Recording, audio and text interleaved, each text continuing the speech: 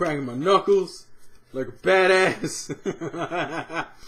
Yo, what's up, guys? Terrell here on Terrell Game Vlogs here to bring you another unboxing. I actually got this. Technically, I think I'm getting this like the day before it comes out. Like, I think they come out tomorrow.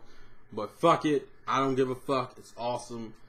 I got some animated manga to unbox. I'm being stupid. Anyways, um, first thing, the manga that no one cares about, but I don't give a fuck. I think I'm like the only one collecting this, but Itsuwaribito Volume 7 comes out. It technically comes out tomorrow, but I don't give a fuck.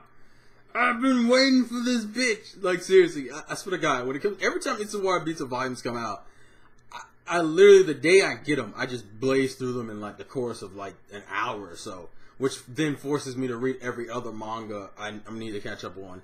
And I've only read like part of the Blue Exorcist volume, so, and I still need to read the Shaman King and Eyeshield volumes. And uh, is that it? I think that's it. But yeah, all right, Utsuho, Pucci. These must all be new characters because they were not in the previous volume. The only character that was introduced last volume was Hikabe, and none of these motherfuckers are Hikabe. Uh, and the last thing I remember, they were in that whole like building of illusions to get one of the treasures. So I guess, and from what I heard, I think these two end up joining in. I don't know because obviously this is their arc, I'm assuming. So I'm looking forward to seeing how this unfolds. I'm excited. God, I, I heard Shonen Sunday is going to be making a lot of anime stuff for next year. Anime adaptation. From what I heard, this thing has 17 volumes. This thing has 17 volumes in uh, around 17, 18 volumes in Japan right now. So this this has enough material to do it, even though it has the Inuyasha vibe. Fucking, uh, I'm ready. My body is ready. I should say that when I actually get the Wii U, but we'll, we'll wait.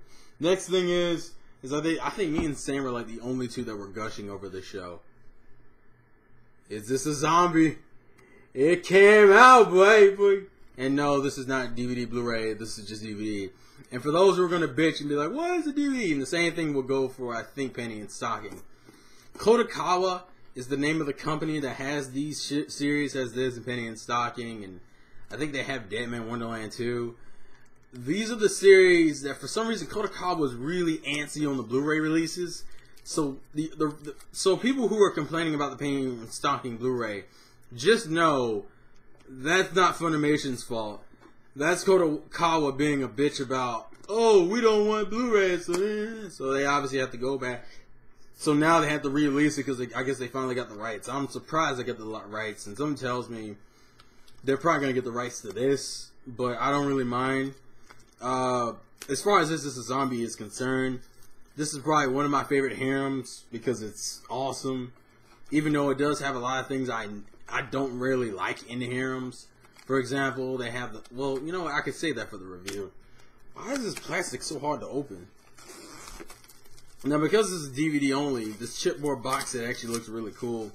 And obviously, this back part comes right off. But luckily, it's not like the other Blu-rays where it's just like, I guess they're starting to learn that you can at least leave it like this so people can keep it. And then all I have to do is if I want to keep this, I can just slide that bitch in here.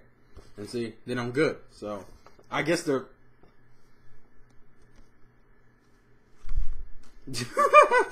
I guess they're learning for this anyway, so that's cool. Because I know the Hellsing one, they did it too, where they had like a strip off. Plus, I think this is probably the back of like one of these anyway. At least I no, it's not. Actually, no.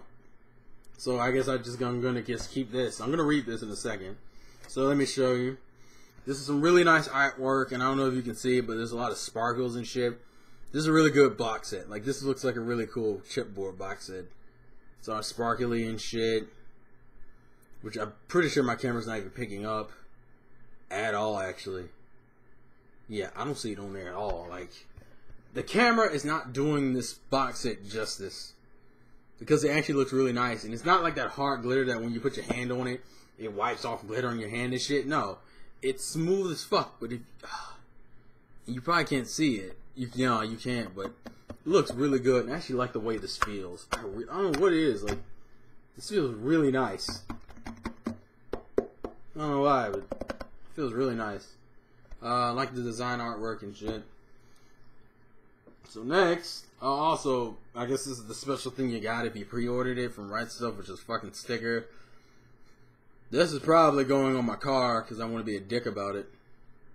And all it says is, "Is this a zombie?" Like six times. From what I saw of the previews, the dub looks like it's actually going to be really good. So I'm looking forward to watching that. So which DVD is which? Okay, this is episodes one through seven. You have you on the cover, and then you have Haruna on the back. Pretty much the lolicon-ish characters on, this DVD. And then on this one you have Seraph, Seraphim, and then Yuki on the back, or Tomari. Don't know why she has like two different names, by the way. Mind you, just to say, this is my favorite of the girls. Uh, I really like this series. I feel like the first season is better than the second season because the first season has a better mix of harem slash mystery. Because, uh, and I'll even say this when I review it. If you watch my weekly reviews of it on my main channel, you'll see I was like intrigued the entire damn season. Each each episode had me interested. The only thing I don't really like is that the harem aspect of it. I think all three of these. I think what is it? Haruna and Seraphim specifically are the ones that beat up on Aikawa all the time. They use that whole because the character can die logic that we're gonna kill him for comedy, which isn't really funny, by the way.